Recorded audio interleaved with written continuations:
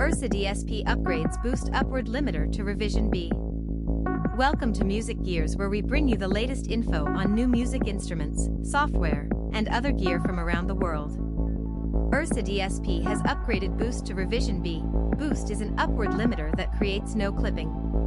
Revision B, the second version of the plugin, adds mid-slash-side mode, parallel compression, stereo link amount, true peak detection, and oversampling. They say, most plug-in compressors emulate an analog detection path used 60 years ago. Boost's trajectory technology uses modern DSP to leave the highest transients undistorted, no matter how far you push the plugin. With its focus control engaged, Boost brings the quieter parts of an audio signal up, never overshooting the peaks and remaining transparent. For introducing character, there are drive and emphasis controls. Features New stereo image in mid slash side mode. New stereo link 0 to 100%. New oversampling. New true peak detection mode. New parallel compression with dry slash wet.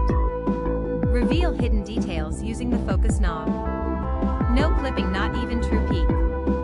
All-way look-ahead mode up to 40 milliseconds. Apply drive and emphasis to add character. Reverb tails with max gain control.